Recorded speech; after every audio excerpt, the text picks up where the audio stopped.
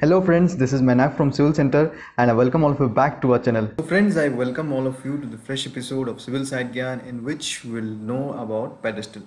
So first of all, we'll know what is a pedestal. As you can see in this picture of the site, this is a column which will be casted further. This is a pedestal and this is a footing. So to give a brief idea, both pedestal and column are compression members. Why the pedestal is provided is the next question. So the pedestal is provided to transfer the loads of the columns to the footing. Now let us see, let us find out what IS code says about it and how to calculate the reinforcements or how to assign the reinforcements in pedestal and how to assign the size of the pedestal and up to which size it is a pedestal and which size it is a column. So the details will know in our IS code.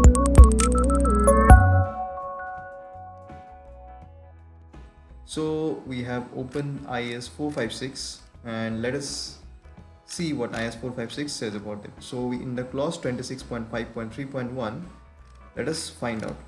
So here the basically a definition is given of the pedestal. Uh, it is written that pedestal is a compression member, the effective length of which does not exceed three times the least lateral dimension. So now what does this mean? So suppose we have a column size, let's say we have a column here.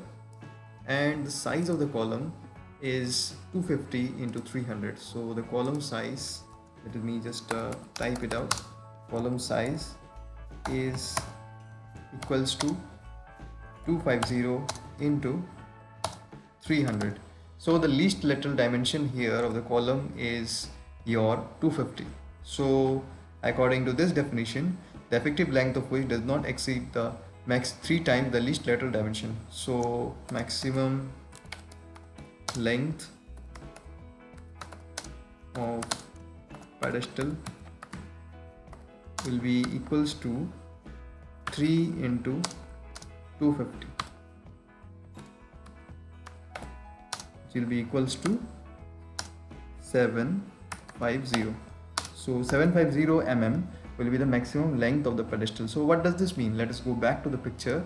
So if the this column size is 250 to 300 and if this size this size this length does not will should not exceed your 750 mm or, or more than the least three times the least lateral dimension. So hope it is clear now.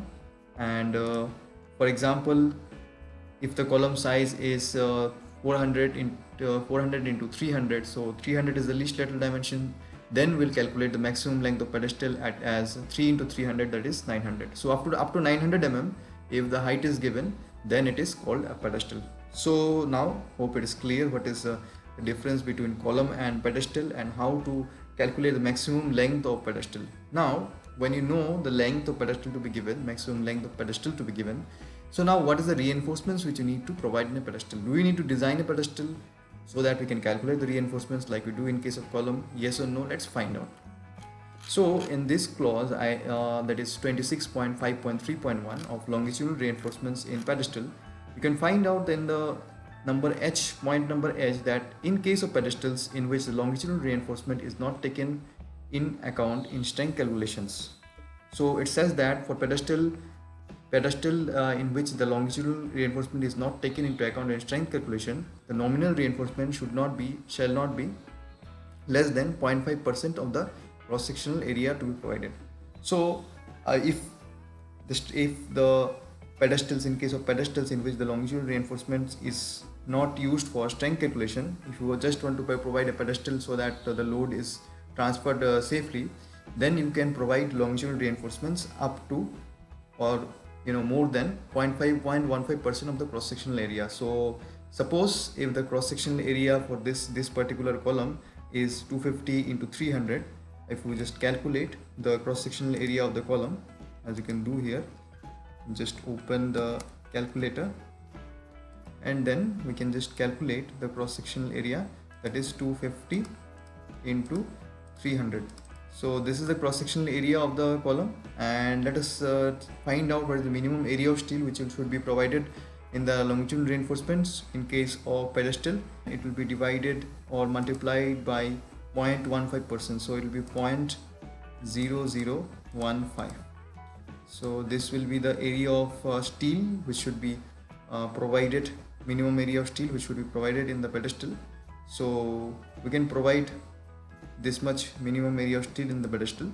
So basically this is the all about the pedestal what is the pedestal and what what is the minimum reinforcements which we need to provide in the pedestal. So hope all your doubts got cleared here. All the difference between column and pedestal. So given brief overview a pedestal is a compression member like a column which is also a compression member. But the least lateral dimension of the column is whatever is the least lateral dimension of the column the pedestal length should not exceed three times of it.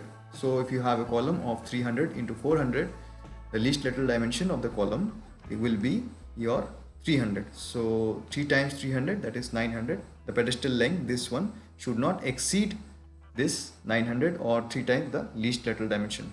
So hope all of your doubts got clear. So this is Mainak and we'll meet in the next video. Bye